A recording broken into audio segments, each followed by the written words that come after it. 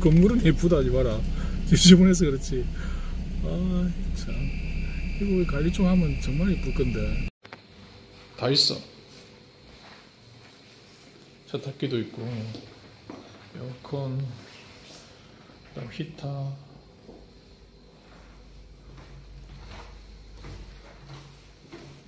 화장실, 방 두 개, 주차장 합해서 6만 페소. 5만 3천. 아, 5만 4천 페소였다. 5만 3천. 5만 3천. 욕조도 있다. 근데 와 여기 욕조는 단추를 막 눌려가지고 이게 작동이 안 되는 거라 그 지금 못 나가고 있다 한 시간 넘게. GPS 신호가 끊어졌습니다. 저 아저씨 막 열심히 고치고 있네. 작동이 곧 되겠다 좀 있으면. 우리가 갇혀가지고 못 나가서 라면 먹는 거다. 다가 걱정하지 마라. 돈 없어서 먹는 거 아니다. 색깔이 아까 변하던데.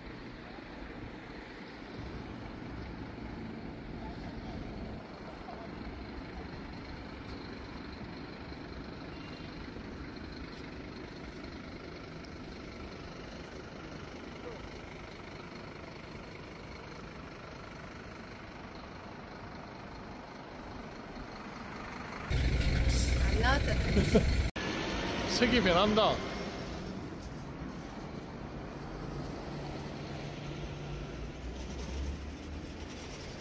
완전히 광안리네.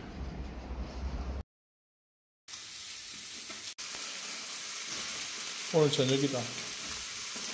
밥하고 있고, 계란 삶았고,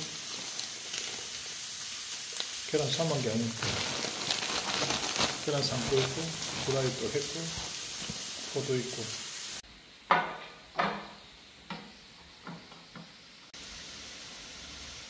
아, 칼로리가 엄청 높아졌네. 오늘 간단하게 그냥 집에서 먹자.